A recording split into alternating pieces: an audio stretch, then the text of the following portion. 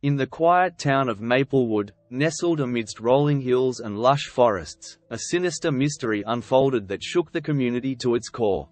It began with the sudden disappearance of Sarah Thompson, a beloved schoolteacher known for her kindness and dedication to her students. As days turned into weeks with no sign of Sarah, rumors began to swirl, and suspicions fell on those closest to her. The police launched a full-scale investigation, scouring the town for any clues that might lead to Sarah's whereabouts. But the case took a chilling turn when Sarah's body was discovered buried in a shallow grave in the nearby woods. The autopsy revealed signs of foul play, and suddenly, everyone in Maplewood was a suspect. As the investigation deepened, secrets long buried began to surface, revealing a web of betrayal, deceit, and hidden agendas. Friends turned against friends, and neighbors whispered behind closed doors as the truth slowly came to light.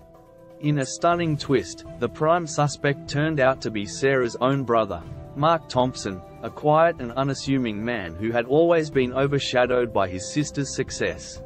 Motivated by jealousy and resentment, Mark had plotted to eliminate his sister and claim her inheritance for himself.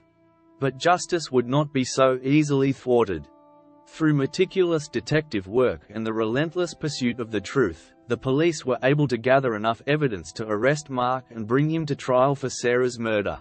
In the end, justice was served, but the scars left behind by Sarah's tragic death would never fully heal.